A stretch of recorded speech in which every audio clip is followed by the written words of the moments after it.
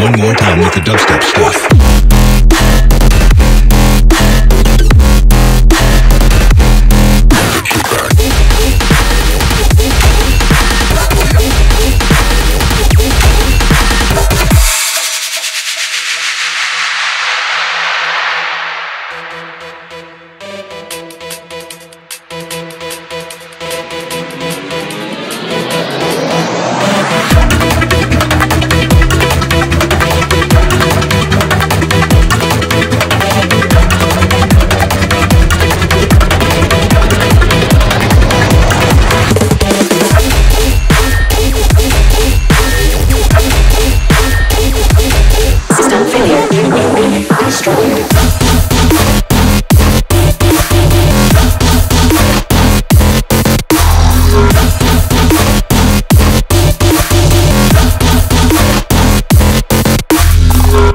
Oh, you ain't ready for this one.